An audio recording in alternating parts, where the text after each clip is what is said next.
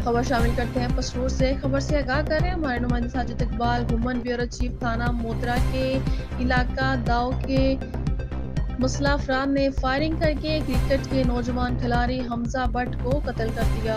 Patrolling police खोई staff ने बर वक्त कार्रवाई करके मरकजी मुलिम आतिफ ब्लॉगर को गिरफ़्तार कर लिया है। पेट्रोलिंग पुलिस खोई स्टाफ के incharge, sub inspector Mohammad Imran, Kashif Imran A S I Ghulam Shabbir और वहीद इकबाल ने वाकई की इतला पर दौरान चेकिंग रिव्यू।